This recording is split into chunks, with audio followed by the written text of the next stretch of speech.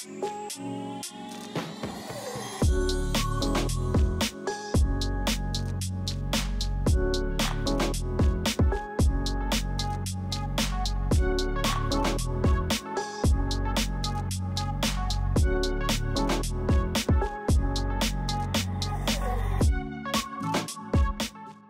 right, so as you can tell, we kind of just already uh, pre-sectioned our, our models here. Three diverse different looks.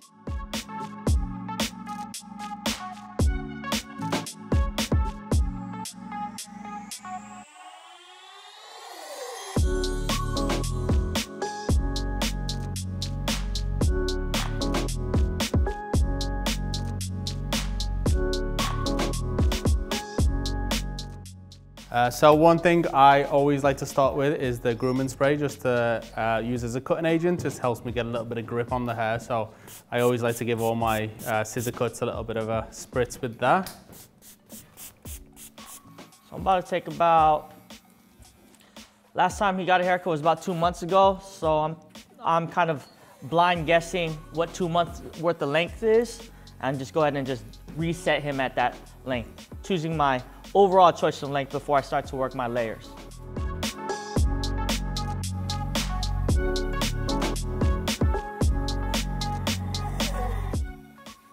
Bearing in mind that his hair is kind of wavy and curly, so once we dry it, what's gonna happen to the hair? It's gonna kind of jump up, right?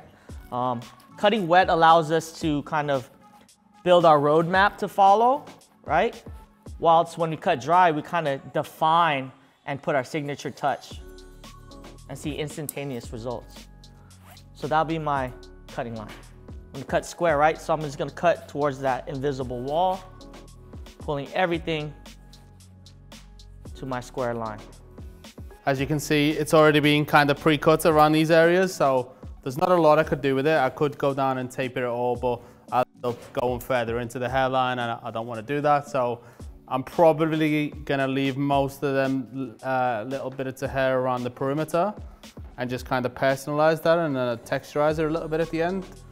A lot of this weight's gonna stay, texturize that again, and then I'm gonna kind of over direct it and bring it over to the to the side. Um, yeah, keep that, that back heavy. Now I'm connecting into the beard a little bit. Um, so same thing, now you're doing in reverse.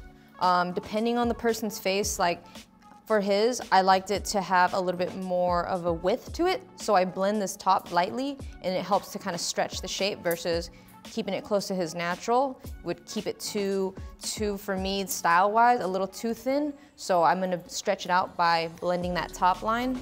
And anytime I work with blending is I always do it in a way that I don't take off too much. It's giving me an option to always take more off, right? So always, I always start any guideline open first, whether it's with a guard or without a guard. And then as I close, I move towards the shorter parts of the hair. So I always go backwards in that way. You'll Probably see me switch between a lot of different tools. Uh, when it comes to any kind of short, tight cuts, like again with the different lengths of, of my tools, certain tools I know is better for edge ups, certain tools is better for removing bulk. So just to know that you have different options because something that's really good for edging, if I use to bulk, it's gonna leave a lot of red lines in people's hair. It might be too, uh, too sharp for the scalp. So I have one for lining and then one specifically for balding. So now we are working towards our side. Uh, the, back is essentially, um, the foundation is there, right? My foundation. Remember I told you guys, it's like, I'm like, we are architects, right? Where we are architects and these are the, and these are the, the structures that we are building, right? Rather than just going square and be boring and just do square all the way through, I'm actually gonna go do, uh, I'm gonna just work some diagonal back in there, right here. Uh, sometimes with diagonal back, what that does is it diffuses all the harsh lines and also it's a cohesive, it's a little bit more cohesive to the direction we want to flow. I'm gonna section, but elevate really low so I could keep a lot of that length towards our, um, our weight line, okay? What I'm gonna do by breaking the rules is I'm actually gonna technically be disconnected from the, from the back and the side, right? My side is gonna be technically disconnected but visually, when I style it, when I'm cutting, remember, when I cut wet, I'm working towards my end goal. What I did was create a profile line, and I've basically been working up in sections, comb width wide, uh, towards the center. Uh, just blending that side into uh, the top into the side even more so. Um, slightly over direct and back. This side was a lot longer and it was a lot longer on the side anyway. Uh, so I'm just kind of fixing that out. Uh, but yeah, just trying to keep and build that weight whilst keeping a bit of a square shape on the sides. Um, I love the texture and the curls that he's got through his hair uh, naturally, so um, I'm going to be working with that when I personalize as, as well as uh, styling. But yeah, I'm really starting to, to build the shape that I kind of had in mind. As you get further up towards the center line, you're probably going to run out, start running out of hair to actually cut. So now it's like millimeters. Once you've done that, you probably want to go through the middle. You might end up with a bit of a, a corner or a point. Um, not always, tends to be a little bit of a surprise, but you can kind of, yeah, there we go. Softly blend that in. Now, very repetitive, like I'm doing the exact same thing.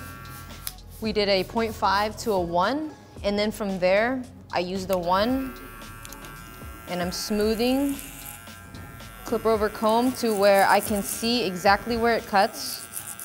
Still keep the guard in place, and I do more of diagonal partings. It's a little bit easier to connect. Uh, doing it this way, I feel like unless you're very conscious of like how your angles are, it can create a lot of new lines. So something that really helps me is being able to fine tune by doing it more diagonal. So now I'm just kind of going through the hair while it's wet and using my feather razor just to break it up a little bit. I'll use it through the top as well. Uh, the reason I like to use a feather razor on curly or wavy hair is because I don't use thinning shears so much. It just really, I feel like it really works with the curl and the wave and it doesn't break it up and disrupt it too much. Uh, we're just gonna go ahead and work on the top. I'm gonna go back to kind of my same flow here. Uh, I'm gonna work my layers back on top um, because the end result I want is something in that nature where I want the layer to flow downwards, okay? Actually, what I'm gonna also do here Kind of like what Miguel mentioned earlier, especially because this is towards the front. I can go ahead and cut, boom, right? What I'm gonna go ahead and do is I'm just gonna point cut it. It's gonna knock two jobs.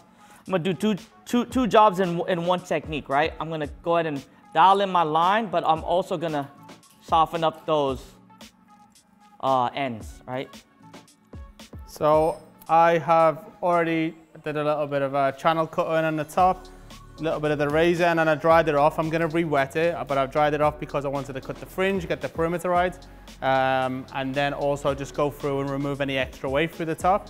Not in any kind of set method, just sporadically going through, uh, taking the weight out, not too deep. Uh, yeah, just add a little bit of extra movement into the cut.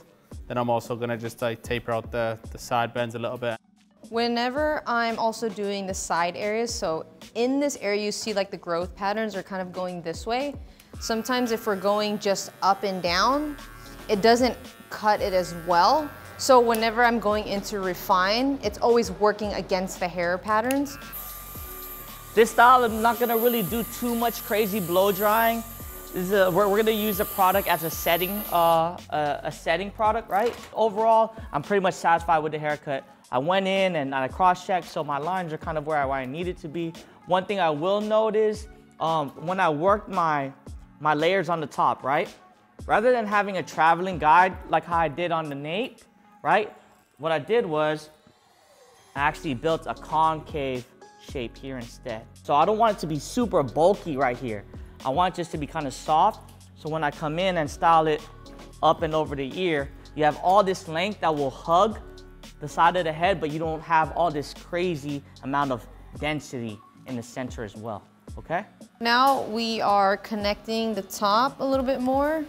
I'm doing this little back crown area, bringing everything back because we already have, remember again, the starting base. So now I find that it's a little bit easier to connect because I have something to look to. And there's also a refining you can do once it's a little bit dry too, that I can go back in and refine any dark spots that I see, either with corner cutting or with texturizing shears. So I'm gonna frame the front of his hair. Uh, before we started, his hair was pretty long. So we're gonna keep most of the length. I'm just taking off about an inch.